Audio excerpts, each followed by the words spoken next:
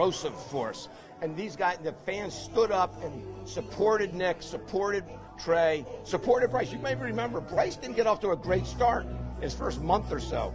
You know, and, and the fans, you know, kind of helped him along and they're, they're just it's unbelievable. This these fans, as Lorenzen said, I've never been to a, a place, I've never seen fans who are actually a part of the team. These these fans are spectacular. They're great. What is it, what is it, what does that mean for you?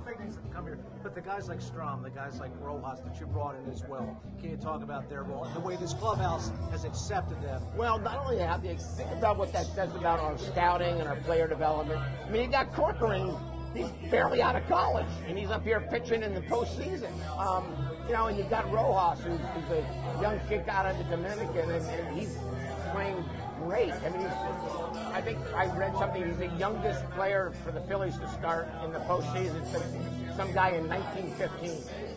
You know, he's got talent, but we, you know, we, you know, Brian and Preston nurtured that talent, and, and we brought him up, and Robin and the coaches, and, and the, you know, him and the players love it. Look, they just want to win. If the guy can make plays like he did in, in center field tonight, late in, in a critical game, they, they love him. John, John, sorry.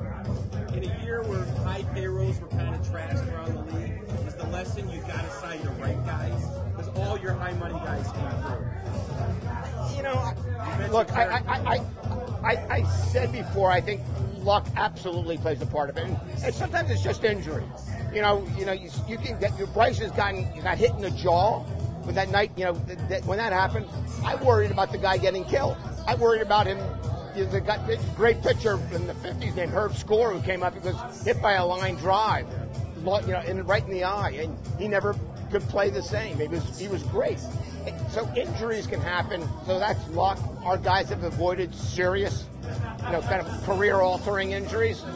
But our guys have character. But sometimes and, and agents don't work out because of the nature of it, signing them at an older age, things like that. But yours are working out.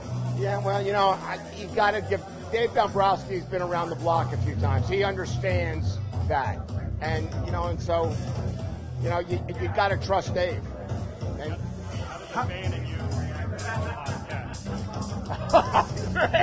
I just, you know, my, my thought was, okay, Harris stole one against us a couple of days ago. We stole one. How are you? I'm doing great. How are you doing? Congratulations. I'm what? I'm a little sticky. I'm a bit cold. That's all right. You enjoy it. you too.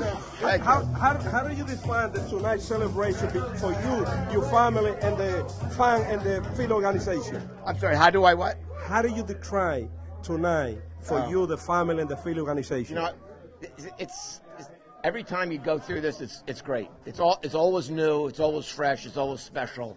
Um, I just I, I love this. It never gets old. but that's why you're working Of course. all, all, the, all year round for this. For this, that's exactly right.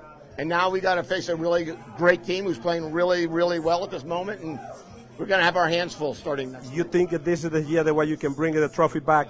Look, I, I think the, the four teams that are left now are really good teams that are playing really well you know, but we're one of those four, and we're, we're playing really well too. We can we can match up with people, but we have to play well.